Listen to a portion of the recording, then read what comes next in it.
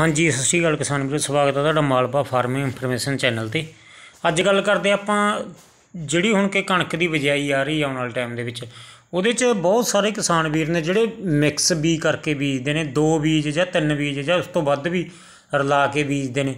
ਉਹਨਾਂ ਬਾਰੇ ਗੱਲਬਾਤ ਕਰਾਂਗੇ ਉਹਦੇ ਕੀ ਫਾਇਦੇ ਆ, ਕੀ ਨੁਕਸਾਨ ਨੇ। ਕਿਉਂਕਿ ਉਸ ਦੇ ਨਾਲ ਕੀ ਹੁੰਦਾ ਨਾ, ਪਿਛਲੇ ਸਾਲਾਂ ਦੇ ਵਿੱਚ ਦੇਖਿਆ ਗਿਆ ਕਿਸਾਨ ਵੀਰ, ਆਪਾਂ ਖੁਦ ਵੀ ਇਹ ਪ੍ਰੈਕਟਿਸ ਕਰਦੇ ਆਂਗੇ। ਆਪਾਂ ਪਿਛਲੇ 4-5 ਸਾਲ ਤੋਂ ਆਪਾਂ ਵੀ ਮਿਕਸ ਬੀਜ ਬੀਜ ਰਹੇ ਆਂਗੇ। ਤਾਂ ਉਹਦੇ ਨਾਲ ਇੱਕ ਤਾਂ ਝਾੜ ਵੱਧਦਾ ਆਪਣੀ ਕਣਕ ਦਾ। ਤੇ ਦੂਸਰਾ ਨੰਬਰ ਜਿਹੜੀ ਲੰਬੇ ਕੱਦ ਵਾਲੀ ਕਣਕ ਆ, ਉਹਦਾ ਡਿੱਗਣ ਤੋਂ ਕੁਝ ਹੱਦ ਤੱਕ ਬਚਾਅ ਹੋ ਜਾਂਦਾ। ਇਹ ਸੋ ਇਹਨਾਂ ਗੱਲਾਂ ਤੇ ਆਪਾਂ ਮਤਲਬ ਵਿਚਾਰ ਕਰਦੇ ਆਂ ਤੇ ਆਉਣ ਵਾਲੇ, ਤੇ ਦੱਸਦੇ ਆਂ ਕਿ ਆਪਾਂ ਕਿਸ ਤਰੀਕੇ ਦੇ ਨਾਲ ਵੀ ਮਿਕਸ ਕਰ ਸਕਦੇ ਆਂ ਜੇਕਰ ਚੈਨਲ ਦੇ ਨਾਲ ਨਵੇਂ ਜੁੜੇ ਨੇ, ਜਿਹੜੇ ਕਿਸਾਨ ਵੀਰ ਦਾ ਚੈਨਲ ਨੂੰ ਸਬਸਕ੍ਰਾਈਬ ਕਰ ਦਿਓ ਤੇ ਨਾਲ ਲੱਗਦਾ ਘੰਟੀ ਵਾਲਾ ਬਟਨ ਜ਼ਰੂਰ ਦਬਾ ਲਓ। ਤਾਂ ਪਹਿਲਾਂ ਕਿਸਾਨ ਵੀਰੋ ਆਪਾਂ ਇਹਦੇ ਨੁਕਸਾਨ ਬਾਰੇ ਗੱਲਬਾਤ ਕਰ ਲਈਏ, ਕਿਉਂਕਿ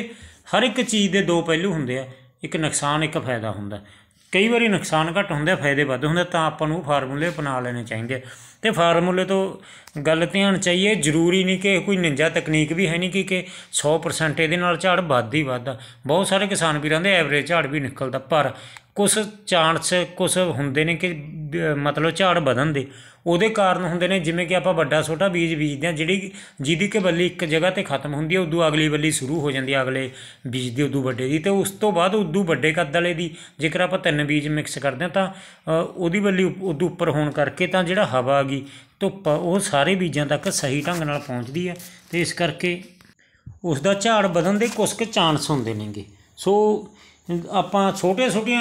ਮਤਲਬ ਕਿ ਫਾਰਮੂਲੇ ਅਪਣਾ ਕੇ ਜਿਹੜਾ ਝਾੜ ਦੇ ਵਿੱਚ ਕੁਝ ਕੁ ਪਰਸੈਂਟ ਆਪਾਂ ਵਾਧਾ ਕਰ ਸਕਦੇ ਹਾਂ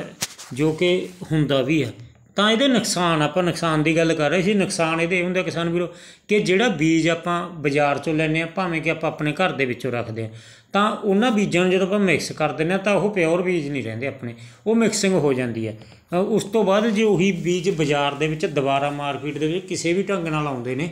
ਤਾਂ ਉਹ ਆਉਣ ਵਾਲੇ ਟਾਈਮ ਦੇ ਵਿੱਚ ਕਿਸਾਨਾਂ ਵਾਸਤੇ ਹੋ ਸਕਦਾ ਨੁਕਸਾਨਦਾਇਕ ਹੋਣ ਕਿਉਂਕਿ ਬੀ ਮਿਕਸ ਹੁੰਦਾ ਪਿਓਰ ਬੀ ਨਹੀਂ ਹੁੰਦਾ। ਦੂਸਰਾ, ਜੇਕਰ ਆਪਾਂ ਕਿਸੇ ਭਰੋਸੇਯੋਗ ਫਰਮ ਤੋਂ ਬੀਜ ਨਹੀਂ ਲੈਂਦੇ, ਤੇ ਦੂਸਰਾ ਨੰਬਰ ਆਪਣੇ ਲਵੇ, ਇਸ ਤਰੀਕੇ ਦਾ ਇੱਕ ਬੀਜ ਪਿਓਰ ਨਹੀਂ ਰਹਿ ਜਾਂਦਾ ਮਿਕਸ ਹੋ ਜਾਂਦੇ। ਸੋ ਇਹਦੇ ਵਾਸਤੇ ਜੇ ਆਉਣ ਵਾਲੇ ਟਾਈਮ ਦੇ ਵਿੱਚ ਬੀਜ ਪਿਓਰ ਰੱਖਣ ਵਾਸਤੇ ਥੋੜਾ ਥੋੜਾ ਖੇਤ ਇੱਕ ਇੱਕ ਬੀਜ ਦਾ ਨਰੋਲ ਕਹਿਣ ਦਾ ਭਾਵ ਖਾਲਸ ਬੀਜ ਜ਼ਰੂਰ ਬੀਜੋ, ਤਾਂ ਜੋ ਆਉਣ ਵਾਲੇ ਟਾਈਮ ਦੇ ਵਿੱਚ ਹੋਰ ਬੀਜ ਮਿਕਸ ਕਰਨੇ ਹੁਣ, ਤਾਂ ਉਹ ਆਪਾਂ ਨੂੰ ਆਪਣੇ ਘਰ ਦੇ ਵਿੱਚੋਂ ਆਪਣਾ ਬੀਜ ਹੀ ਲਗਭਗ ਸਾਰ ਦੇਵੇ, ਨਾ ਕਿ ਬਾਜ਼ਾਰ ਦੇ ਵਿੱਚੋਂ ਮੁੱਲ ਲੈਣਾ ਪਵੇ। ਤਾਂ ਇਹ ਇੱਕ ਆਪਾਂ ਨੁਕਸਾਨ ਵੀ ਕਹਿ ਸਕਦੇ ਹਾਂ, ਪਰ ਇਹ ਬੜਾ ਵੱਡਾ ਕੋਈ ਨੁਕਸਾਨ ਵੀ ਨਹੀਂ। ਤਾਂ ਉਸ ਤੋਂ ਬਾਅਦ ਜਿਹੜੀ ਗੱਲ ਕਰਦੇ ਆਪਾਂ ਬੀ- ਬੀਜਣ ਦੀ, ਕਿਸ ਤਰੀਕੇ ਦੇ ਨਾਲ ਬੀਜਦੇ ਨੇ? ਕਿਸਾਨ ਵੀਰ, ਇੱਕ ਤਾਂ ਦੋ ਬੀਜ ਲਾ ਕੇ ਬੀਜਦੇ, ਇੱਕ ਦੋ ਜਾਂ ਤਿੰਨ ਬੀਜ ਲਾਉਂਦੇ ਆ। ਜਿਹੜੇ ਦੋ ਲਾਉਂਦੇ ਜਿਵੇਂ ਕਿ ਬੇਸ ਆ ਗਈ ਜਾਂ ਜਾਂ ਇੱਕ ਆਪਾਂ ਅੱਪਰ ਕਹਿ ਦਈਏ ਛੋਟੀ ਕੱਦ ਵਾਲਾ ਤੇ ਉਦੋਂ ਬਾਅਦ ਵੱਡੇ ਵਾਲਾ, ਇੱਕ ਜਿਵੇਂ ਕਿ ਬੇਸ ਮਿਡਲ ਤੇ ਅੱਪਰ ਵਾਲਾ। ਜਾਂ ਉਸ ਤੋਂ ਵੱਧ ਵੀ ਬੀਜਦੇ ਨੇ, ਚਾਰ ਚਾਰ ਬੀਜ ਲਾ ਕੇ ਬੀਜ ਲੈਂਦੇ। ਤਾਂ ਉਹਦੀ ਮਾਤਰਾ ਜਿਹੜੀ ਉਹ ਕਿਸ ਤਰੀਕੇ ਦੇ ਨਾਲ ਆਪਾਂ ਕਹਿ ਸਕਦੇ ਹਾਂ ਕਿ ਕਰ ਸਕਦੇ ਹਾਂ, ਕਿਉਂਕਿ ਇਹਦੇ ਵਿੱਚ ਕੀ ਹੁੰਦਾ ਨਾ ਕਿਸਾਨ ਵੀਰੋ, ਜਦੋਂ ਹਵਾ ਵਗੈਰਾ ਪੈਂਦੀ ਹੈ ਤਾਂ ਉਹਦੇ ਬਿਮਾਰੀਆਂ ਦਾ ਹਮਲਾ ਘਟ ਜਾਂਦਾ ਤੇ ਜੇਕਰ ਕੋਈ ਇੱਕ ਬੀਜ ਨੂੰ ਮਤਲਬ ਉਹ ਆਪਣੀ ਜਿਹੜੀ ਬਿਮਾਰੀ ਆਉਂਦੀ ਹੈ ਪੀਲੀ ਕੁੰਗੀ ਜਾਂ ਭੂਰੀ ਕੁੰਗੀ ਜੇਕਰ ਆਉਂਦੀ ਆ, ਤਾਂ ਉਹਨੂੰ ਜਦੋਂ ਥੋੜੀ ਮਾਤਰਾ ਦੇ ਵਿੱਚ ਉਹ ਬੀਜ ਹੋਊਗਾ, ਤਾਂ ਉਹਨੂੰ ਕੰਟਰੋਲ ਕਰਨ ਦੇ ਵਿੱਚ ਆਪਾਂ ਨੂੰ ਆਸਾਨੀ ਵੀ ਹੋਊਗੀ। ਤੇ ਇੱਕ ਨੁਕਸਾਨ ਇਹ ਵੀ ਹੋ ਸਕਦਾ ਕਿ ਦੂਸਰੇ ਨੂੰ ਵੀ ਉਹ ਟਾਰਗੇਟ ਕਰ ਸਕਦੀ ਆ। ਇਹ ਦੋਨੇ ਪਹਿਲੂ ਨੇਗੇ, ਜਿਹੜੇ ਕਿ ਆਪਾਂ ਨੇ ਧਿਆਨ 'ਚ ਰੱਖਣੇ ਨੇ। ਪਰ ਜੇਕਰ ਬੀਜਣੇ ਹੀ ਆ, ਬਹੁਤ ਸਾਰੇ ਕਿਸਾਨ ਵੀਰ ਬੀਜ ਰਹੇ ਨੇ ਤੇ ਚੰਗਾ ਝਾੜ ਵੀ ਹੋ ਰਿਹਾ, ਤਾਂ ਜੇਕਰ ਬੀਜਣਾ, ਜੇਕਰ ਆਪਾਂ ਆਮ ਖਾਸ 45 ਕੁ ਕਿਲੋ ਬੀਜ ਪਾਉਂਦੇ ਨੇ ਕਿਸਾਨ ਵੀਰ, ਜਿਵੇਂ ਕਿ ਆਪਾਂ 45 ਕਿਲੋ ਬੀਜ ਜੇ ਆਪਣੇ ਖੇਤ ਦੇ ਵਿੱਚ ਪਾ ਰਹੇ ਆ ਇਹ ਕਿਸਾਨ ਵੀਰ ਇੱਕ 45 ਕਿਲੋ ਦਾ ਫਾਰਮੂਲਾ, ਉਸ ਤੋਂ ਬਾਅਦ 50 60 ਕਿੰਨਾ ਵੀ ਬੀਜ ਪਾਉਣੇ ਹੋ, ਉਹ ਆਪਾਂ ਨੇ ਆਪਣੇ ਹਿਸਾਬ ਦੇ ਨਾਲ ਪਾਉਣਾ ਤੇ ਇੱਕ ਮਿਕਸ ਕਰਨਾ, ਜਿਵੇਂ ਕਿ 45 ਕਿਲੋ ਦੇ ਵਿੱਚ ਆਪਾਂ 30 15 ਦੀ ਰੇਸ਼ੋ ਕਰ ਸਕਦੇ ਹਾਂ, ਜਿਵੇਂ ਕਿ 30 ਕੁ ਕਿਲੋ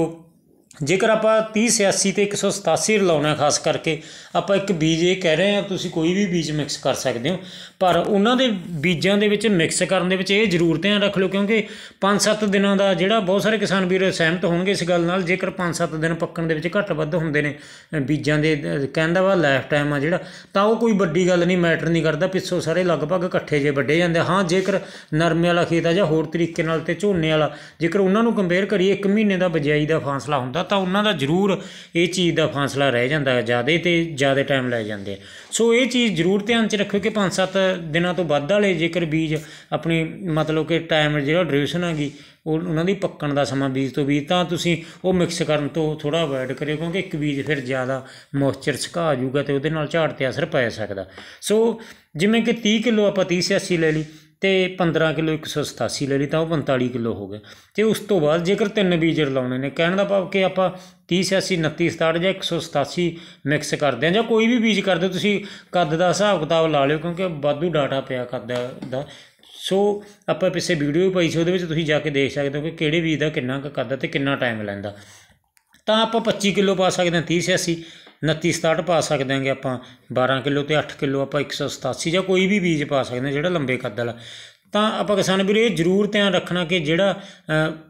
ਮਤਲਬ ਵੱਧ ਕੱਦ ਵਾਲਾ ਬੀਜ ਆ, ਉਹਦਾ ਬੀਜ ਘੱਟ ਰੱਖਣਾ। ਕਿਉਂਕਿ ਉੱਪਰੋਂ ਜਿਹੜੀ ਧੁੱਪ ਵਗੈਰਾ, ਉਹ ਥੱਲੇ ਵਾਲੇ ਬੀਜ ਤੱਕ ਫੇਰ ਹੀ ਜਾਊਗੀ। ਬਹੁਤ ਸਾਰੇ ਕਿਸਾਨ ਵੀਰ ਇੱਥੇ ਗਲਤੀ ਕਰ ਜਾਂਦੇ ਕਿ ਥੱਲੇ ਜਿਹੜਾ ਛੋਟੇ ਕੱਦ ਵਾਲਾ ਬੀਜ ਆ, ਉਹ ਘੱਟ ਪਾ ਦਿੰਦੇ ਆ, ਦੂਸਰਾ ਵੱਧ ਪਾ ਦਿੰਦੇ ਆ। ਤਾਂ ਉਹ ਥੱਲੇ ਵਾਲੀਆਂ ਜਿਹੜੀਆਂ ਬੱਲੀਆਂ ਨੇ, ਬਿਲਕੁਲ ਮਰੀਆਂ ਰਹਿ ਜਾਂਦੀਆਂ ਨੇ। ਸੋ ਇਸ ਚੀਜ਼ ਦਾ ਜ਼ਰੂਰ ਧਿਆਨ ਰੱਖਿਓ। ਸੋ ਇਹ ਕੁਝ ਕੁ ਗੱਲਾਂ ਸੀ, ਜਿਹੜੀਆਂ ਆਪਾਂ ਆਉਣ ਵਾਲੇ ਦਿਨਾਂ ਦੇ ਵਿੱਚ ਧਿਆਨ ਰੱਖ ਕੇ ਆਪਣਾ ਫਸਲ ਤੋਂ ਵਧੀਆ ਝਾੜ ਰਹਿ ਸਕਦੇ ਆ ਜੇਕਰ ਵੀਡੀਓ ਵਧੀਆ ਲੱਗੀ ਤਾਂ ਵੀਡੀਓ ਨੂੰ ਲਾਈਕ ਕਰਿਓ ਤੇ ਹੋਰ ਕਿਸਾਨ ਵੀਰਾਂ ਨਾਲ ਸ਼ੇਅਰ ਜ਼ਰੂਰ ਕਰਿਓ ਜੀ।